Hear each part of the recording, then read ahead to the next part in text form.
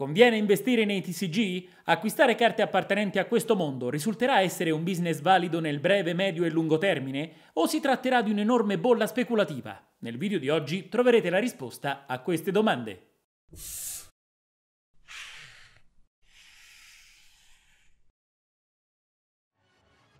Signori, bentornati sul canale con il nostro consueto appuntamento settimanale. I trading card game hanno attratto negli ultimi anni diversi appassionati e curiosi che, oltre al settore giocato, hanno iniziato a volgere lo sguardo verso il lato strettamente economico che si cela dietro ogni carta esistente in mercato. Ma se da una parte ci sono coloro che corrono alla ricerca dell'opportunità, altri se ne tengono alla larga, credendo che prima o poi questa moda dell'investimento terminerà dopo l'esplosione di una bolla che si porterà dietro tutti i risparmi di chi è saltato sul carro dei TCG come buono fruttifero. Infatti sono stati molti gli interessati che mi hanno chiesto personalmente consiglio su quali sarebbero state le carte da rendimento futuro più alto e la mia risposta è sempre stata la stessa. Non ne ho idea. Sì, si può tentare di prevedere un trend di mercato futuro avendo abbastanza dati a disposizione, come la presenza di una specifica carta nel meta, se c'è una richiesta particolare da parte dei collezionisti, la rotazione del formato, se esiste, se sono presenti segni particolari, la potenza, se è vintage e via discorrendo. Ma escludendo ogni singolo aspetto appena menzionato, prendiamo in considerazione solamente i due principali, che poi risponderanno alle domande che di solito si pongono le correnti di pensiero che dominano agli antipodi questo universo. I GCC sono un investimento da fare o sarà una bolla speculativa? Signori, dalle statistiche di YouTube ho notato che in media il 77% di chi guarda i miei video non è ancora iscritto al canale. Pensate che se solo la metà decidesse di supportare il progetto si raggiungerebbero i 10.000 iscritti in pochissimo tempo. Perciò datemi una mano, se ancora non siete iscritti basta un clic. Per voi è un semplice gesto, ma per me è di grande aiuto. Grazie per il supporto. Torniamo al video. Ed ora scopriamo assieme se converrà investire nei TCG o se farete bene a tenervene alla larga. Andiamo a dargli un'occhiata. Investimento o bolla speculativa?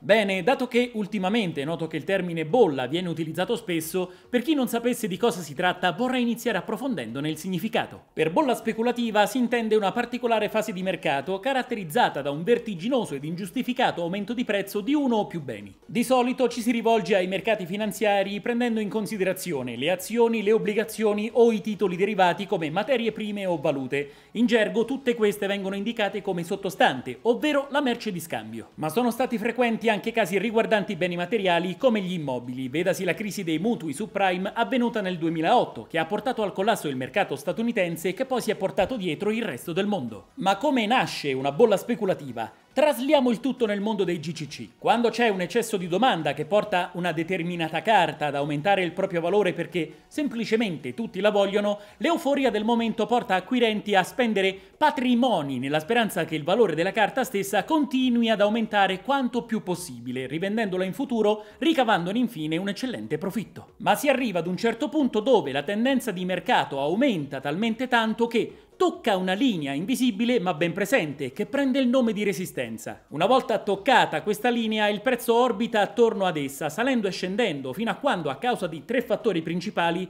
il valore della carta crolla facendo per l'appunto scoppiare la bolla speculativa. Le tre dinamiche che possono portare a questa evenienza sono l'impossibilità di trovare nuovi acquirenti a causa del prezzo del sottostante, in questo caso la carta, troppo elevato, la vendita delle copie acquistate in precedenza da chi vuole liquidare la propria posizione traendone un profitto e una rivisitazione delle stime future che sono state fatte in passato, che, al momento dello scoppio, hanno modificato inaspettatamente le dinamiche interne dell'investimento, portando la maggior parte di chi è salito a bordo ad un'isteria compulsiva, tradotta con la vendita istantanea, anche a buon mercato, per rientrare il prima possibile dei soldi spesi o limitare al massimo i danni, minimizzando le perdite. Ora, si sta parlando di giochi di carte collezionabili e non azioni o strumenti finanziari vari, quindi andrà da sé che non ci sarà mai un ammanco di miliardi di dollari che metteranno in ginocchio una nazione o addirittura il mondo intero. L'unica cosa che però dovrete mettervi in testa da subito sarà che se vorrete iniziare a volgere lo sguardo verso gli investimenti investimenti appartenenti al mondo in questione,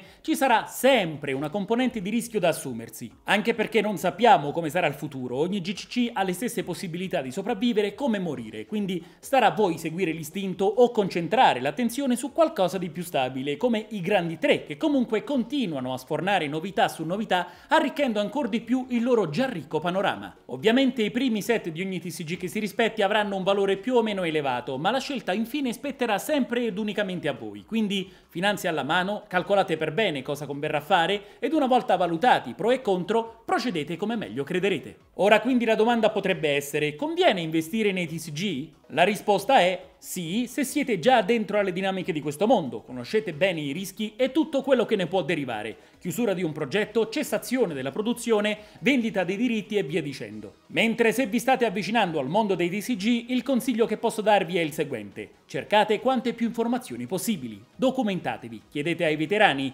affinché vi forniscano una guida salvandovi da eventuali danni economici che inevitabilmente abbatteranno anche il vostro spirito nel voler continuare, soprattutto perché per collezionare ci saranno molti aspetti da tenere in considerazione. A tal proposito segnatevi la data del prossimo 23 maggio, ci sarà un tomo che ho trovato nella biblioteca qui a Castello di cui vi parlerò nel prossimo episodio della rubrica Colleziono da zero. Si tratta della prima guida in Italia per iniziare a collezionare i trading card game. Tornando a noi, tenendo in considerazione questi macro aspetti, mi sento di dire che di bolle speculative ce ne potranno essere, dannose e raramente catastrofiche per l'individuo, poi dipenderà anche dalla cifra che ci avrete speso. Converrà investirci, tenendo sempre però in considerazione di chiedere un consiglio a chi è più esperto, soprattutto se nuovi in questo universo. Concludendo, di titoli lì fuori che dominano la piazza ce ne sono molti e molti altri ancora arriveranno, quindi di possibilità di investimento ne avrete pressoché infinite. Con il tempo e l'esperienza che accumulerete con gli anni, riuscirete ad intercettare ogni opportunità traendone profitto. E voi avete mai intrapreso questo aspetto dei GCC? Come sempre fatemelo sapere nei commenti. Mi auguro che questo video sia stato di vostro gradimento. Prima di salutarci vi invito a cliccare qui a sinistra se vorrete scoprire altri contenuti interessanti legati al mondo dei TCG. Vi ringrazio di essere stati in mia compagnia, noi ci vediamo al prossimo video.